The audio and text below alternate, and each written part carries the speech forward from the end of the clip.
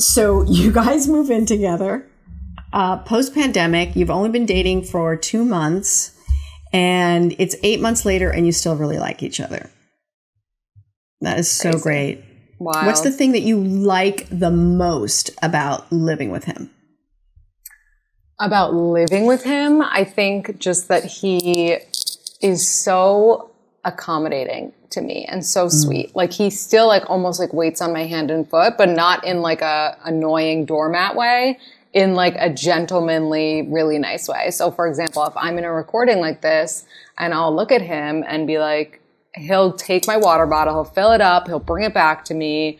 Like he just, you know, he always like wants to make sure that I'm good and he's just he really is such and, and it's funny because I haven't ever lived with a, a man, but I have like had like, you know, guys that I've dated sleep over like four times a week and they weren't even living with me and I would get annoyed with them. Um, but I live with him and he he's really. I mean right and we're so similar in so many ways like we're both kind of like anal about having things out and this and that. And so we're on the same page. Like we're not petty with each other. We're very, um, we're just like willing to, and, and maybe it's just like ha- being one year in, you know, but it's just, we're still in that phase where we're like, we just want the other person to be happy. So if that means like we're doing all the dishes for the other one, like who cares? Yeah, let me tell you, um, my husband will do the same thing. Like he'll peek, peek poke his head and he'll go, "Are you on TV?" Like, because I'm, you know, I I'm often recording, but I also have uh, Zoom sessions with clients because I'm a writing teacher, and and and I'll just go like this to him. I'll just go. And he'll make me a, a, a he'll make me a vegan burger and like just pass it to me and That's So- amazing. I know. And I, I, I always hesitate to tell people this, but when I when I know the person I'm telling is this is in a happy relationship, I feel like I can say it. My husband brings me coffee every morning in bed. Yeah. And it's so funny. I always, I mean, that's how you know that you guys have something amazing. And another way to know, and I'm sure you can relate to this, is like when you are almost downplaying how great your relationship is when your friends are like complaining about theirs, you know? Like they're like, "Oh my god, my husband's the worst." And you're like, "Yeah, mine's mine's annoying too." Like my girlfriends always want to have like a girls' night. They're like, "I just need to get away from him." And I'm like, "Same." But like I really don't. Same. Fingers crossed behind your back. I Yeah. know. I know. I, I say to him often, I'm like saying, I, I always say, you spoil me rotten. He said, no, I spoil you just like you're supposed to be spoiled. And that's just, Aw. I mean, now I don't want you to think, Lindsey, we haven't had our ups and downs. We absolutely Yeah, of have. You- You, can't, you can't be together for 30 years and have two kids and not have ups and downs, you know? I mean, when we Right. met, you know, we've grown up.